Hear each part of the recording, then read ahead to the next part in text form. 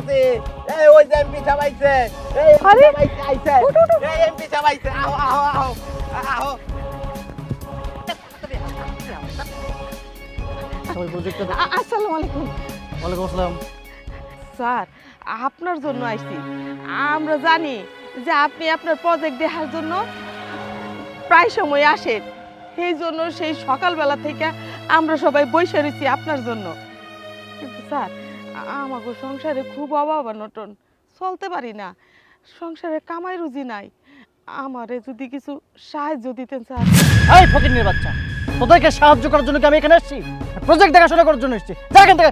এইগুলা কেমন ব্যবহার স্যার? আমরা সাধারণ মানুষ। তাই বলে যে আপনি আমাকে সাথে এরকম খারাপ আচরণ করবেন এটা কিন্তু আপনি করতে পারেন না। হ স্যার। খালা ঠিকই কইছে। আমার ঘরে দুটো ছোট ছোট পোলা মাইয়া। আর আমার জামাই, আপনি নির্বাচন করতে যাই পঙ্গু হয়েছে আপনি মনে হয় ভুলে গেছেন, স্যার। হ্যাঁ কোনো কাজ কাম করতে পারে না। এই জন্য আপনার কাছে কিছু সাহায্য চাইতেছি।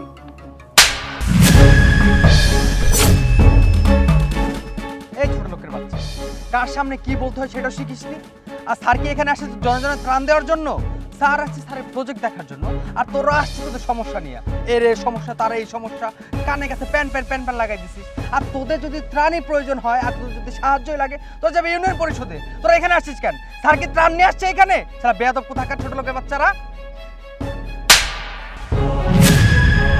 এই মেয়ে তোমার কথা বলে স্পর্ধা। তুমি আমার অ্যাসিস্ট্যান্টে গায়ে দাও। চুপ! একদম চুপ। যা করছি, বেশ করছি।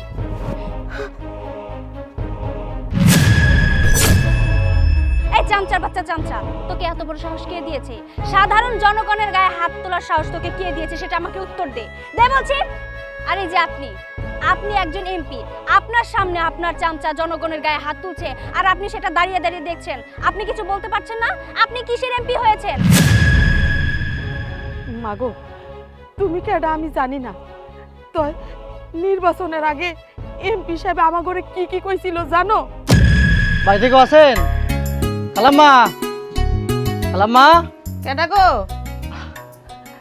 খালাম্মা থাক বাজান থাক থাক থাক খালাম্মা আপনাদের দোয়া নিতে আসলাম আপনারা হয়তো জানেন যে এবারে নির্বাচনে আমি দাঁড়াইতেছি ভোটটা কিন্তু আমার দেওয়া লাগবে আচ্ছা বাজান দিমুনে তুমি আমার পাও ছুঁয়ে সালাম করছ আর ভুট্টা আমি তোমারে দিব না বাজান অবশ্যই দিমু কিন্তু বাজান একটা কথা আমার তো স্বামী নাই দুইটা ছেলে সন্তান আছে ওরা এখানে থাকে না আমার কোনো খোঁজখবরও নেয় না। আমি খুব কষ্টে থাকি। আমার বাড়ি ঘরটা যদি একটু ঠিকঠাক করে দাও পাশ করার পরে আর একটা বিধবা ভাতা কাট করে দাও আমার আর কিচ্ছু লাগবে না বাজার।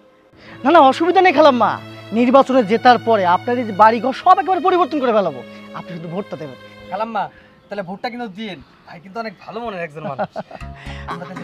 আচ্ছা। আর দোয়া করে দিন একটু। যাও বাজান যাও। আচ্ছা আসসালামু আলাইকুম। ওয়ালাইকুম আসসালাম।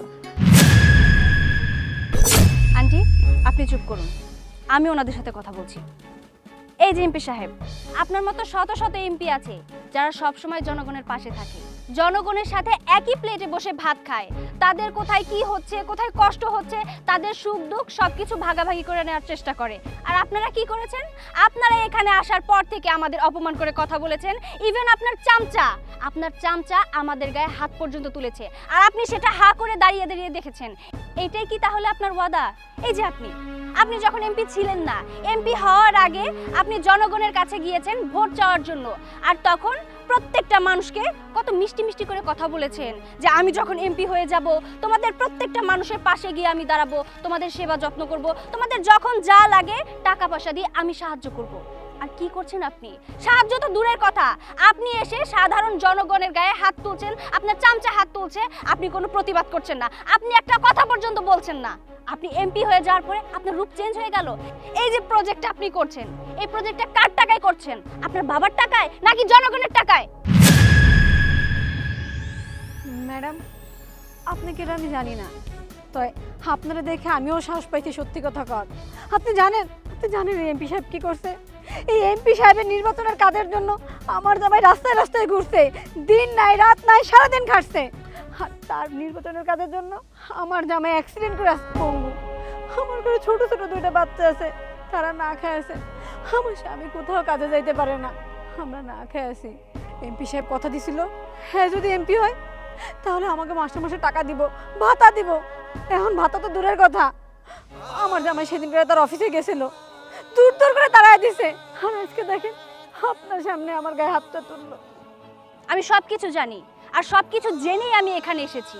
এই যে সরকার এত বাজেট দেয় জনগণকে দেওয়ার জন্য, এই টাকাগুলো আপনি কি করছেন? নিজের পকেটে ঢুকাচ্ছেন। এই যে এত বড় মিল ফ্যাক্টরি, বাড়ি, গাড়ি, এগুলো কার টাকায় করছেন? সব কিছু জনগণের টাকাই আপনি করছেন। আর এই যে আমি আমি আজকে এখানে এসেছি ছদ্মবেশে, এই আপনার কুকীর্তিগুলো ধরার জন্য। আপনার সাথে সব হিসাব হবে থানায়। এখানে কোনো হিসাবই হবে না। চলেন আমার সাথে। চলেন বলছি আপনি কিন্তু কাজটা ঠিক করলেন না। আমি আপনাকে দেখে নিব। চলুন। চল।